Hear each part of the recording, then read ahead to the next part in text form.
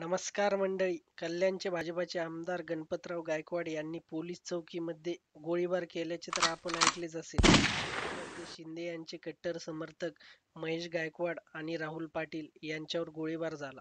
या हल्ल्यामध्ये महेश गायकवाड यांना पाच तर राहुल पाटील यांना दोन गोळ्या लागल्या होत्या.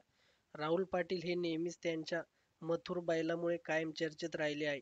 मथुरमुळे त्याच्या मालकाचे नाव पूर्ण महाराष्ट्रभरात गाजले आहे.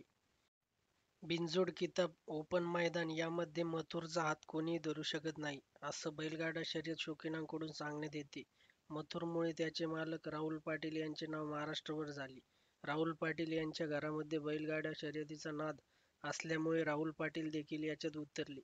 राहुल पाटील यांनी पळणाऱ्या बैलाचा अभ्यास सुरू केला आणि त्यांच्या पदरात मथुर पाडला. मथुरची एक झलक पाहण्यासाठी हातातील कामे टाकून लोक बैलगाडा शर्यत बघायला येतात. मथुरने आजपर्यंत पंचवीस हजारापासून ते दोन लाखापर्यंत बिनजोड शर्यती खेळल्यात आणि सगळ्या पहिल्या नंबरने जिंकल्या पण. म्हणून तर राहुल पाटील आज सुद्धा बड्या बड्या हस्तींना मथुरच्या जीवावर ओपन चॅलेंज देतात.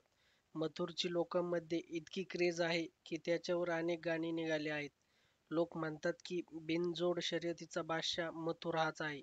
तुम्ही सुद्धा मथुरचे चाहते असाल तर लाईक आणि सबस्क्राईब करायला विसरू नका.